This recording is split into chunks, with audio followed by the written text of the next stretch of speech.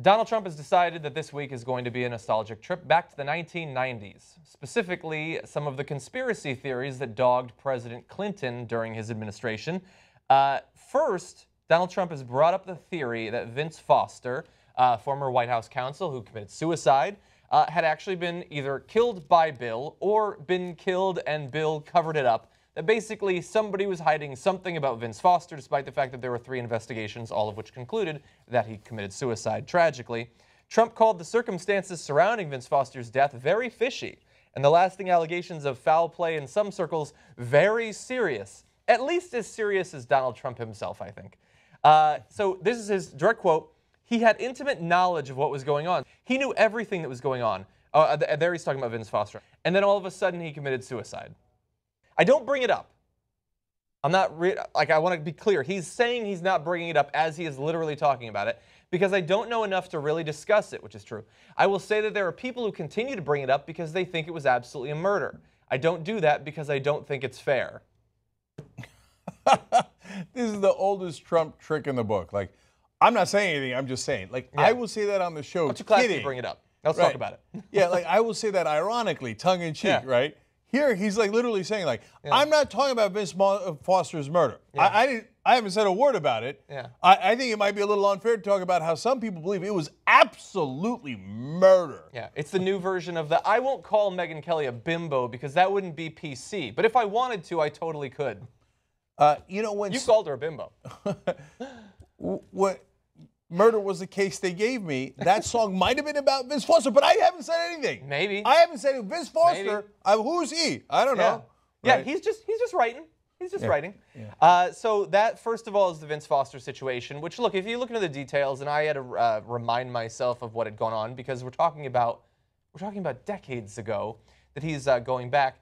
Uh, like the guy gets to D.C. and apparently is so sickened by how much people basically just tear each other apart and don't try to accomplish anything, uh, that he fell into a deep depression, uh, which he tried to treat very briefly and then committed suicide. And it's a tragedy no matter what happened, but probably what happened is not that Bill Clinton murdered him for reasons that nobody has ever made clear to me, but they continue to believe is the case.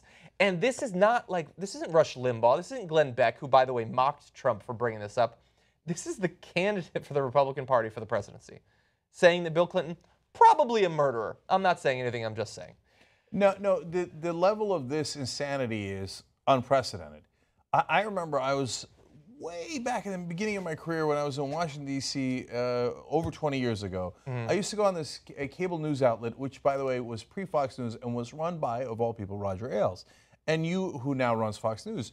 And, and you, every funny. once in a while, they would have ads for Vince Foster's murder. And at the time, I was a young Republican.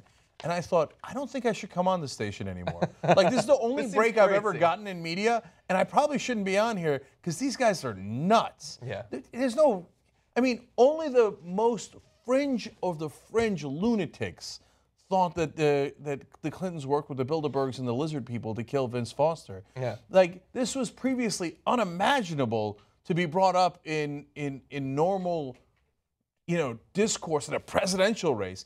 If a surrogate of a surrogate had brought it up in 2012 in the last election mm-hmm. cycle, let alone anything else, he would have been fired immediately. Yeah. But there are no bounds with Donald Trump. The yeah. guy is just total. And, and you know, but part of it is that by ripping up the playbook, it has served him well.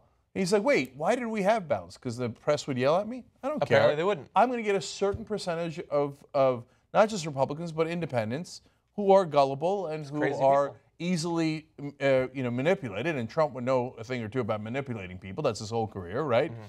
And I'm going to get to put a little doubt in their mind. Yeah. It's, it's what like defense attorneys would do.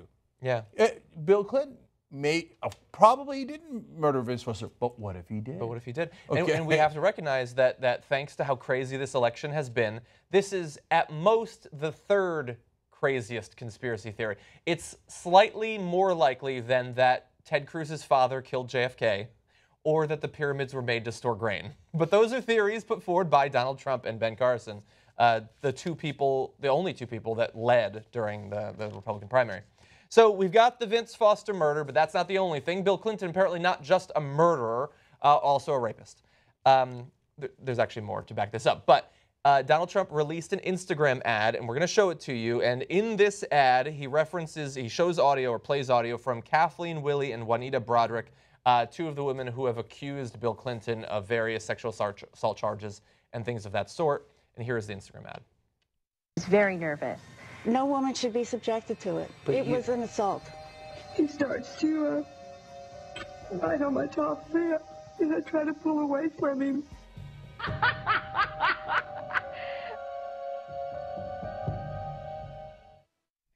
God damn it. Unf- That's an insane ad.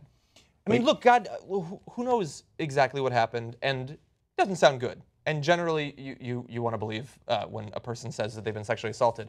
But the, the black and white fading of the weird picture of him with the cigar, the weird laughing, and then he like gladly puts his name on it.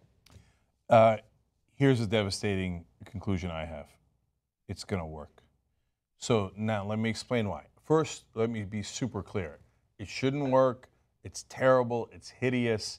Uh, and one of those audio that you heard from one of the women was from Sean Hannity's program.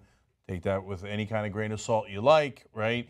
Uh, and and these uh, Republicans have been using these women to attack the Clintons for at least 20 years, but longer. Mm-hmm. One of the guys who used to uh, do that is David Brock, who now ironically runs Hillary Clinton's attack team and runs one of her super PACs. Yeah. He's one of the guys who used to be the hatchet man against the Clintons. So he knows how this uh, game is played. And so the Republicans have been playing this game for a long time. So now, um, why am I afraid that it is going to work? Um, he, here's the three reasons why he's doing it. Obviously, to damage Hillary Clinton, you know, she's got unfavorables. He wants to drive those unfavorables mm-hmm. up uh, and to match his own because he's the only candidate ever to run for president with higher unfavorables than Hillary Clinton. Yeah. She's number two in history, right? As long as they've been doing polling. Uh, okay, that part's super obvious. Okay, now the second parts that the, the other two that might not be as obvious.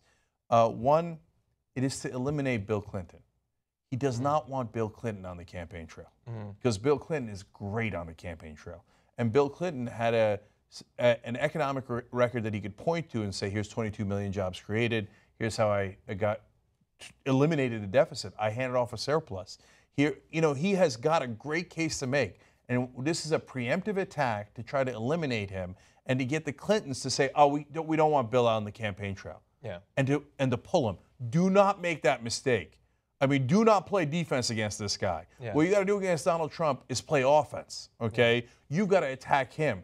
The, the Clintons should have an ad twice as devastating against Donald Trump. Oh, you don't want to get in the mud. Yeah, yeah, yeah. The other 16 Republicans didn't want to get in the mud. And where are they now? They're, they're in their backyard. And she's saying that she's going to sort of go hands off. Right now, weird. It doesn't even seem like her style. She says she's eh, they, they're going to decline to respond to the attacks. Terrible idea. Yeah. No, no, no. Go on the offensive. I don't. I'm not saying this shit. They have to get into the nitty gritty of these details and play defense on that. No, you should just smear him for what he actually is. Not smear him. Say the, the guy is a conspiracy theorist, and he, this is the, a borderline psychotic person who we should consider uh, locking up in a state in mental health institution. He's a crazy person. Okay. And, and also, I mean, you can you can talk about he's a conspiracy theorist because he's literally peddling conspiracy theorists. There's also a ton of evidence going back something like four decades that he has had business ties with the mafia. Start talking about that. How about this? He has been accused by multiple women of raping them. So it seems a bit ballsy of him that he's going to be attacking Bill Clinton, who's not even in the race as a rapist, when he is, according to women from his history, also a rapist. Okay, put but, that in an ad. But John, he knows that they won't go as low as him, right? And part of, part of what he's doing is now neutralizing that attack against himself. He's saying, "Hey, you want to play that card? Well, I'm going to keep saying that your husband raped somebody. Well, then at least neutralize it. Everybody involved in the race is in some way a rapist. No, but don't this do that. But don't that, see, but that's what I'm talking about. See, that's Donald Trump winning. he just got to call it even, and it ain't even, right? Uh-huh. So now point number four is actually the most hidden, but perhaps the most damaging. The reason the laugh is in there is because it's to yeah. lower her numbers among women. Yes. So to say, oh, he did all this stuff Bill Clinton did to women, while Hillary Clinton uh, looked the other way or laughed about it. And so this is the strategy that Republicans use against Wendy Davis in Texas. Not exactly, right? Because it, there were no charges against her husband. Mm-hmm. But they attacked her on her strength, which is she pulled well with women. and they ripped her down among women by saying, "Oh, she went to go get a fancy education and left her kids behind, etc." And they're going to go after Hillary Clinton's strength, which is in women. Okay, right now she's getting killed uh, among men. If she loses women at all, if she loses any of her strength in women, she's in a ton of trouble. Mm. So, as hideous as this ad is, and these two attacks against Bill Clinton, unfortunately, politically, they're fairly savvy. And if the Clinton team doesn't mount up right now and get to attacking, they, they, they, he is going to establish this, uh, these talking points Yeah. and this idea in the heads of the American people before they know what hit them. Yeah, and the if they say, and don't- by the way, don't make any excuses about, oh no, but Bernie Sanders is still in the race. Hillary Clinton has said a thousand times on TV, I'm already done with him, right? I'm, I've already won, I'm moving on. Then okay, then if you actually believe that, move on. Look, I forget the Bernie Sanders Hillary Clinton race just for a second on this issue, okay? It's not over, but that's a whole separate conversation. But if you want to, if you really think you're the nominee and you think you're going against Trump, you have to counterattack immediately.